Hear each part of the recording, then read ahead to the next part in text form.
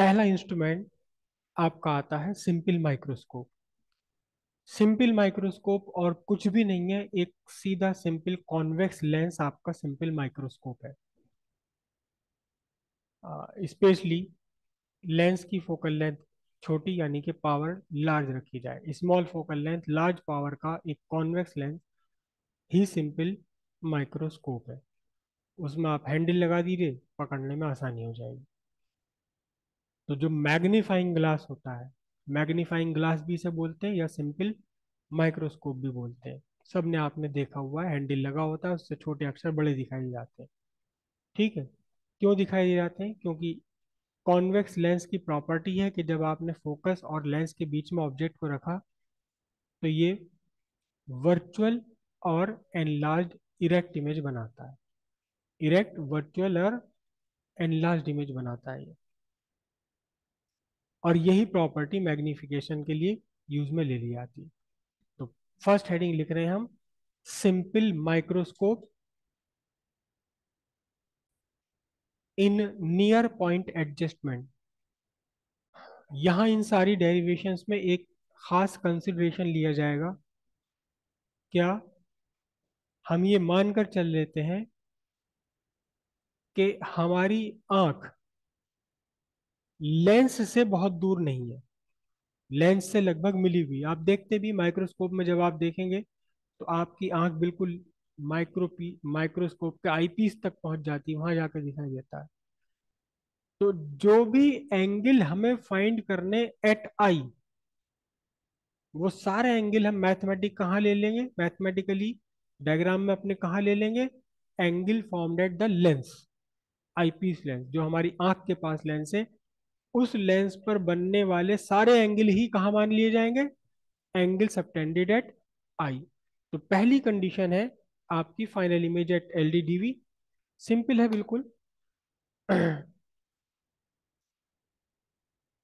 ये आपका lens, convex lens.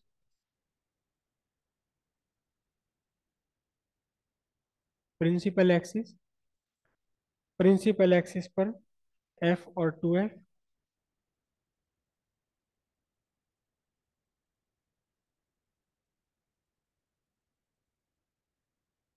Focus point और लेंस के बीच में आपने ऑब्जेक्ट को प्लेस किया। याद रखिएगा कि ऑप्टिकल इंस्ट्रूमेंट से जब हम देखेंगे तो हमेशा फाइनल इमेज वर्चुअल बननी चाहिए। फाइनल इमेज वर्चुअल बननी चाहिए, वरना दिखेगी नहीं। हमारी आँख के पीछे बनेगी फिर वो। आँख से आगे बने तो वर्चुअल इमेज ही दिखाई देगी। वर्चुअल इमेज बनाने के लिए आपने ऑब्जेक्ट को रखा फोकस और ऑप्टिकल सेंटर के बीच में कहीं। यहाँ आपने ऑब्जेक्ट प्लेस किया। सिंपल डायग्राम एक ray of light parallel incident किया आपने प्रिंसिपल एक्सिस के parallel it passes through focus point another light ray through optical centre passes undeviated और ये दोनों जो रिफ्रैक्टेड रेज हैं दे आर डाइवर्जिंग आगे दूर हटती चली आ रही हैं। तो अब आगे तो इनको कहीं मिलना ही नहीं है। क्या करना है आपने? आपने इन्हें बैकवर्ड्स एक्सटेंड कर देना प्रोड्यूस कर देना है बैकवर्ड्स बैकवर्ड्स प्रोड्यूस कर देना आपने। और जहाँ भी ये मिलती हुई लगती हैं this is the position of your virtual image ये वर्चुअल इमेज की पोजीशन हो गई। वर्चुअल इमेज को अक्सर हम डॉटेड बनाया करते हैं। A dash B dash is the virtual image of object A B A B is the object this is your object A B और A dash B dash is the virtual image of object A B अब इस ए dash B dash ने जो angle subtend किया है lens पर, यही angle है angle subtended by the image at eye A dash B dash के एक्सट्रीम को आपने लेंस तक मिला लिया। दिस एंगल इज़ बीटा अब ये सवाल पैदा होता है this is the angle subtended by object also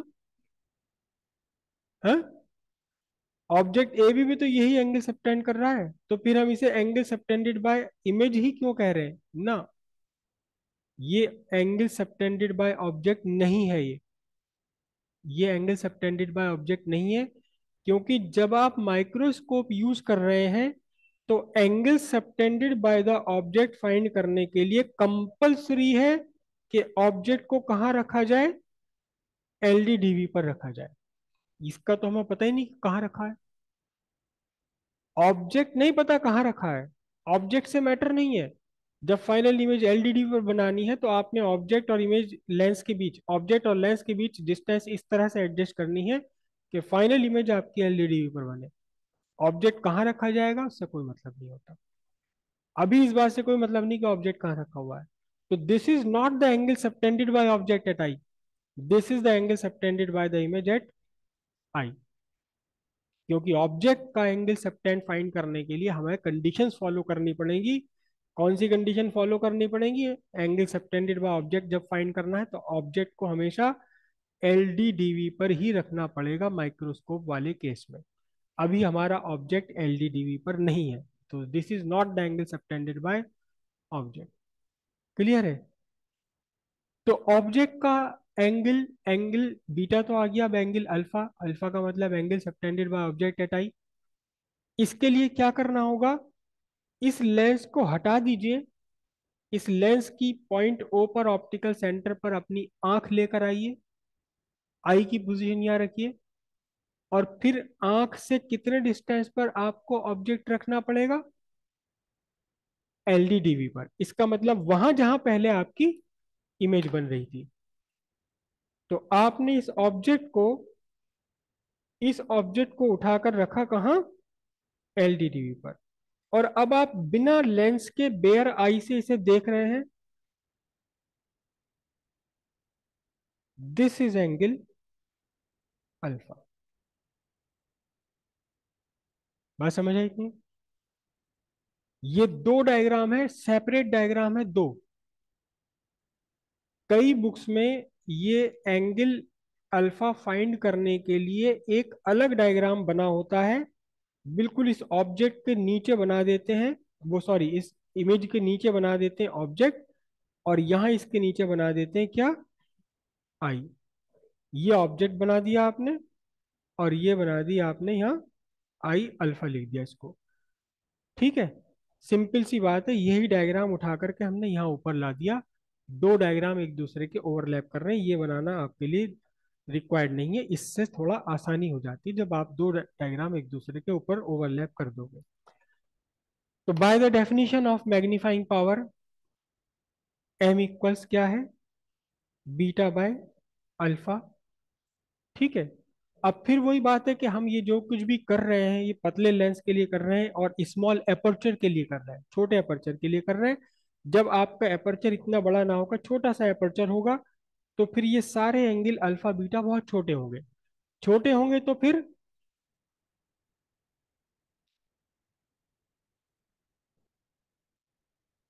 for small aperture alpha and beta are very small मतलब एक, दो, तीन, चार डिग्री तक के बस। ठीक? For small angle tan theta approximately equals theta mathematics की बात है सारी। तो फिर मैग्नीफाइंग पावर कितना बन जाएगा? मैग्नीफाइंग बन जाएगा power tan beta by tan alpha अब कुछ भी नहीं डायग्राम में से टेन अल्फ़ा टेन बीटा निकाल करके रख दो। टेन बीटा यहाँ से निकाल कर लाएँगे हम A B upon O B से। हालाँकि ये beta angle subtended by A double dash B double dash है। लेकिन ये beta angle subtended by A B भी तो है। तो इसलिए बीटा को हम यहाँ से लेकर आएँगे A B upon O B से। ये कंफ्यूज मत कीजिए कि अभी तो आप कह रहे थे कि एंगल सबटेंडेड बाय इमेज है, अब आप एंगल सबटेंडेड बाय ऑब्जेक्ट ले रहे हो। ये एंगल सबटेंडेड बाय ऑब्जेक्ट ही है, लेकिन ये अल्फ़ा फिर भी नहीं हो सकता क्योंकि ये कंडीशंस को फुलफिल नहीं कर रहा। कौन सी कंडीशन को? कि ऑब्जेक्ट आपका होना चाहिए एलडीडीवी पर। तो इसलिए टेन बीटा क्या बना आपका? A B upon O B ये आपका टेन बीटा बना A B by O B tan alpha क्या बना आपका? टेन अल्फ़ा आपका ये एक काम करता हूँ, मैं इस ग्रीन वाले को ग्रीन वाले को लिख रहा हूँ A one by A one B one correct हालाँकि ये कुछ भी नहीं है, ये ए बी की ही नई पोजीशन है। ऑब्जेक्ट ए बी की ही नई पोजीशन है अल्फ़ा फाइंड करने के लिए हमें इसे ज़बरदस्ती रखना पड़ा। कहाँ रखना पड़ा? एलडीडीवी पर। तो अब हम टेन अल्फ़ा निकाल कर लाएँगे A one B one by O B one A one B one by O B one अब ध्यान से देखें तो ए बी ही तो ए वन बी वन पर पहुँचा है। तो सिंपल सी बात है क्या? कि आपका यहाँ A one B one is equal to क्या है? ए बी तो अब आपका एम क्या बचा? ये तो कैंसिल हो गए। क्या बचा आपका? O B one by O B substitute कर लीजिए वैल्यूज़ सब्सटीट्यूट कर लीजिए ओ बी आपका क्या है? ओ बी है आपका minus U O B one क्या है? B one is the position of image ये वी है, जो कि एक्चुअली कितनी है? L D D V L D D V जिसे हम लिखते हैं माइनस जिसे हम कैपिटल डी से रिप्रेजेंट करते हैं। कितनी है माइनस डी है ये। तो इसलिए अब आपके लिए क्या बना? ओ बी वन क्या बन गया? माइनस डी ओ बी क्या बन गया बोलो? Minus U correct. ये बना आपका डी वाई यू लेकिन मैग्नीफाइंग पावर हमें लानी होती हमेशा फोकल लेंथ की टर्म में। मैग्नीफाइंग पावर हमेशा लानी होती फोकल लेंथ की टर्म में। तो यहाँ नहीं छोड़ सकते इस फॉर्मूले को। अब इस फॉर्मूले को थोड़ा सा ट्रांसफॉर्म करना पड़ेगा। By lens formula lens formula क्या है? One by F is equal to one by V minus one by U. This is lens formula. ठीक है? अब इसी में आपको वैल्यू सब्सटीट्यूट करनी है कॉन्वेक्स लेंस के लिए। लेंस फॉर्मूला आपके पास क्या है? लेंस फॉर्मूला आपके पास है one by F equals one by V minus one by U. Substituting values for convex lens. Focal length कितनी है? एफ़। इमेज कहाँ बनी है? डी पर। डिस्टेंस ऑफ़ ऑब्जेक्ट कितना है? ये मत सोचिएगा कि यहाँ माइनस नहीं था, यहाँ माइनस क्यों आ गया? ये लेंस फॉर्मूले का यू है और ये ये सब्सटीट्यूशन है। तो अब आपके लिए क्या बना? One by F equals minus one by D plus one by U.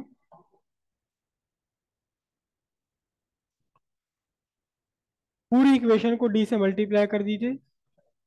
D by F equals minus one plus D by U. तो डी बाई यू क्या बचा? One plus D by F और यही अभी आपने क्या कहा था? Magnifying power one plus D by F magnifying power of simple microscope.